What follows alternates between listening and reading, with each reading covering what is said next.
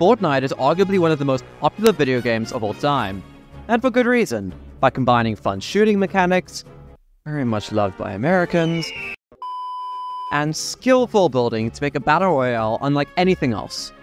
Recently, Fortnite had a major update bringing back the original map to the game, along with original cosmetics, guns, and familiar locations such as Tilted Towers, Greasy Grove, my uncle's crypto business, but is this update actually good for the game?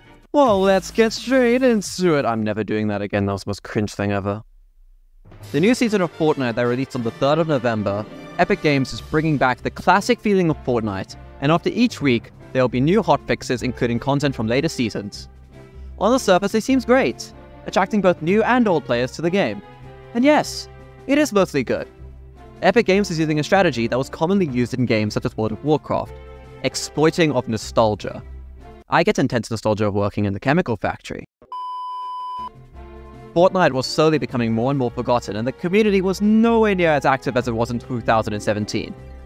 However, this new update has given nostalgia to players who used to play many years ago, which in turn has caused many of them to return to the game.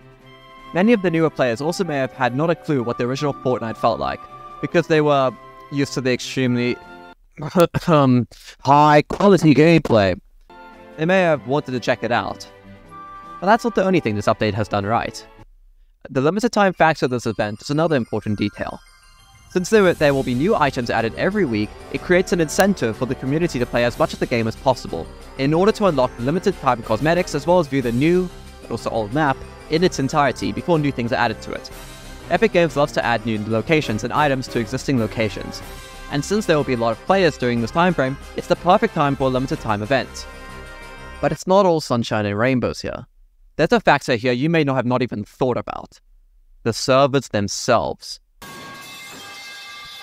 If you were trying to play the new update on launch day, there was a good 30 minute queue to get into the game, which sparked a lot of hate on Twitter and Reddit. Even I had to deal with a loading time of nearly an hour because of the large amounts of people on the servers. And even when people loaded in, there were frequent game crashes because of the intense amount of people on the servers. The number of concurrent players reached 4 million players, which is just absurd. The high amount of players on the server may impact the community negatively, as seen on numerous platforms already. If a game like this is going to be done for nostalgia purposes, the server should have been strong enough to withstand the entire community logging on at, at once, despite how ridiculous that sounds. Epic has also stated that they will be adding new content never before seen to this game. Well, that may be good for new players, but it may also give returning players a sense of confusion, since many of them may not have a single idea on what certain items' purposes are. Another drawback of this new content are the collectibles. Since many of the Fortnite cosmetics were limited to respective seasons, many of the returning players may think that they wasted money on supposedly limited edition skins.